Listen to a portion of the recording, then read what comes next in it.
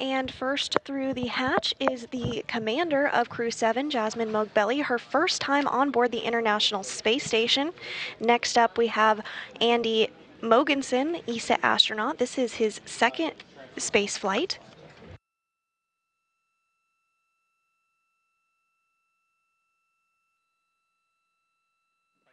And coming through the hatch now is JAXA astronaut Satoshi Furukawa.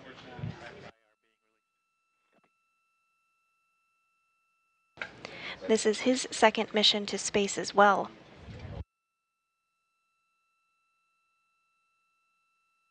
And next through the hatch is Konstantin Borisov of Roscosmos, his first time on board the International Space Station as well.